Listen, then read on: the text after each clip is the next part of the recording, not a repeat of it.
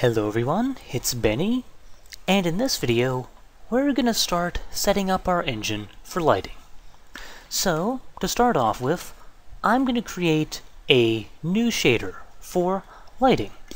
And I'm gonna start by just copying, whoops, not commenting, but copying all the code in our basic shader and moving that to our new shader for lighting, which is going to be called Phong shader. Why Phong? Because this is going to be based on the Phong lighting model.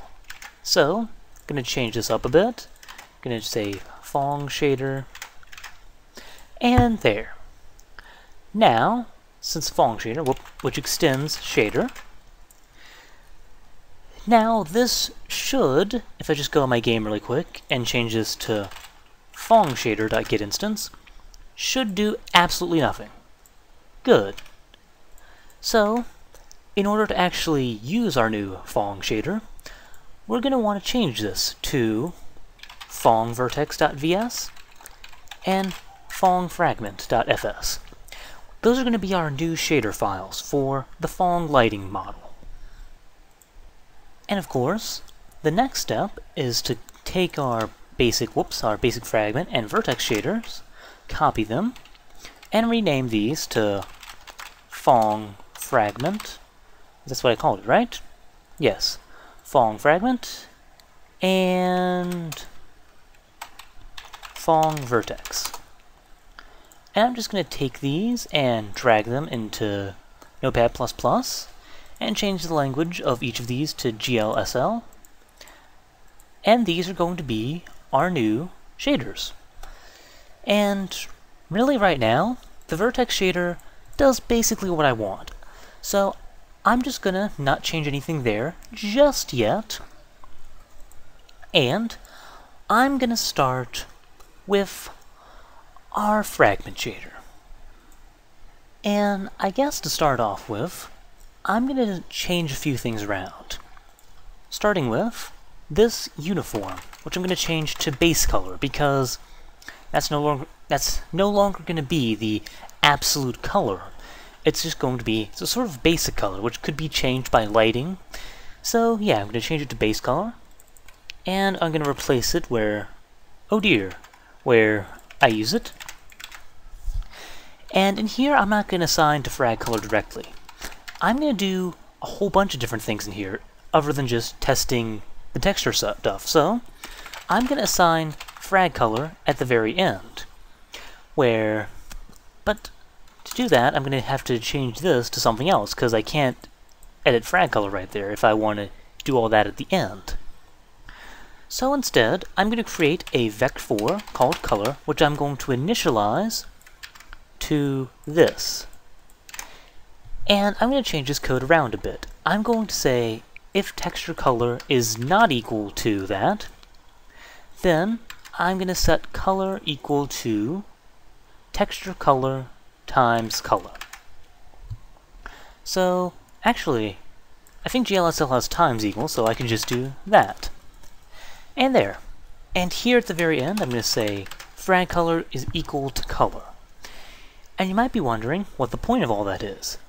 And the whole point of that is at the end, well, I guess not at the end, but at this, before I do all this, and actually, if that's the case, I can move this around and just make this right here, so I don't need that variable anymore. And actually I might change my basic shader to this too, because this seems a little bit cleaner to me. But anyways, point is, now that I've rearranged my fragment shader a little bit, it makes it very easy for me to do something like this. Create a vec4 I'll call total light, and just initialize that to vec4 0000 for now.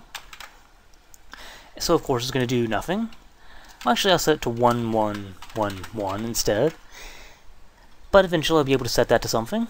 And then at the very end, just multiply my color times the total light.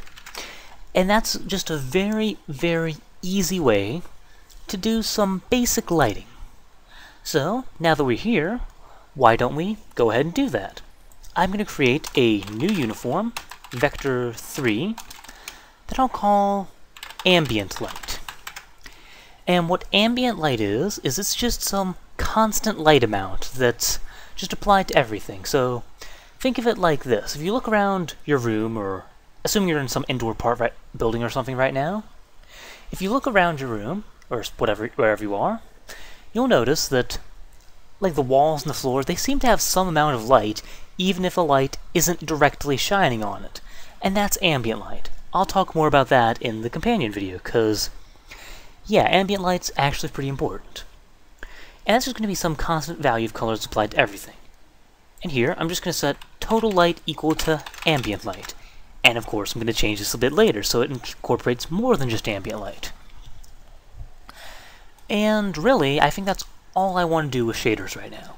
Just have ambient light, and that's it. So, there we go. Now this also means I'm going to need to change my code in here around a little bit. I'm going to change this to base color. I'm going to actually be set, well, actually set the base color. And I'm going to have a variable in my shader, at least for now.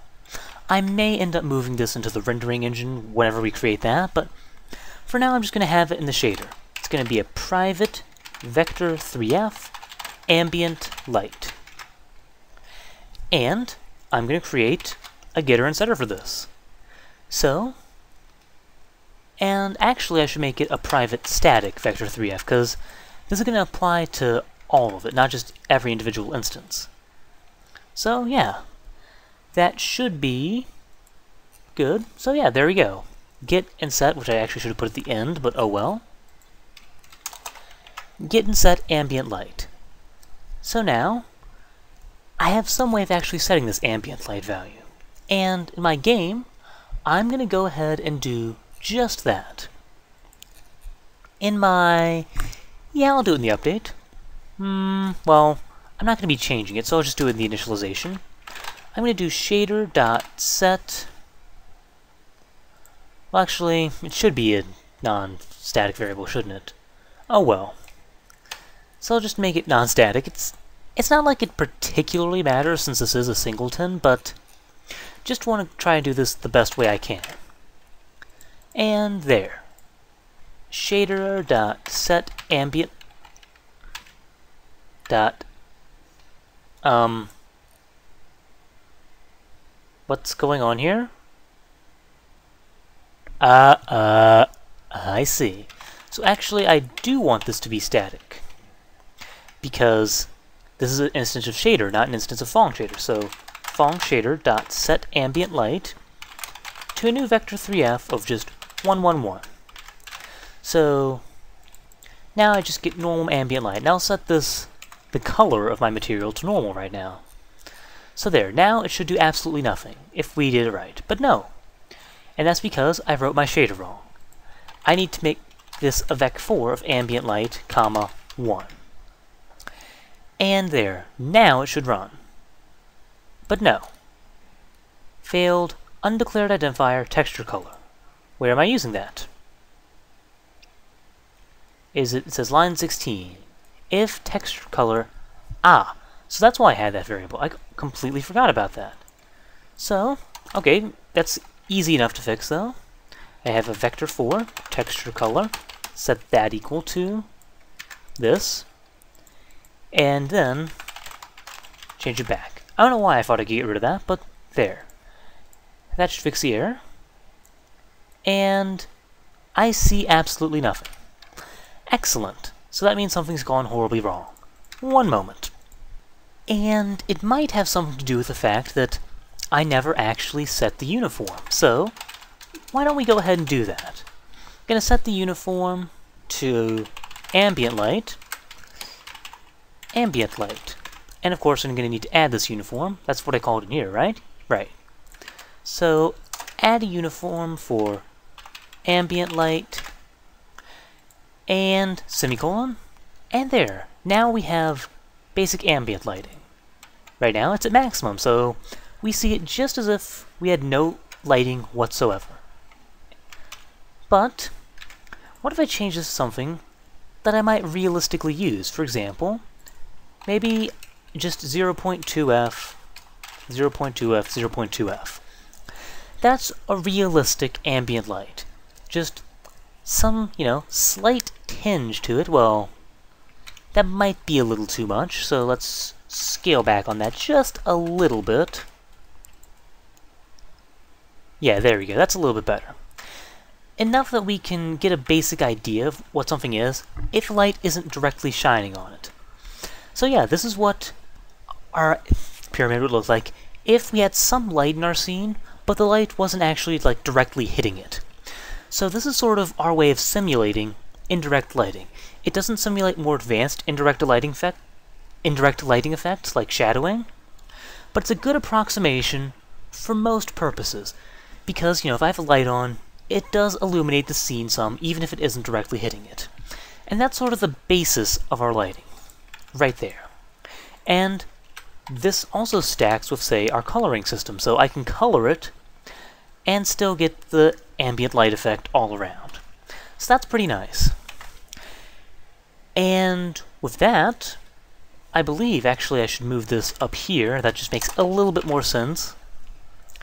And yeah, I believe that's everything I want to do in this video. So I've got basic ambient lighting. It's... yeah. It's not much, but this is going to be a pretty good start for our new lighting system. So thank you, hope you enjoyed, hope you learned, and see you next time.